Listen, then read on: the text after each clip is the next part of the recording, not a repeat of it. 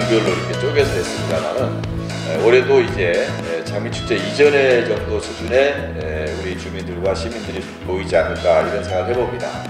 아, 그래서 이번에 제대로 코로나가 끝났다는 걸 선포하고 어, 우리가 일상으로 돌아갔다는 것을 경험하는 그런 장미축제가 되었으면 좋겠습니다.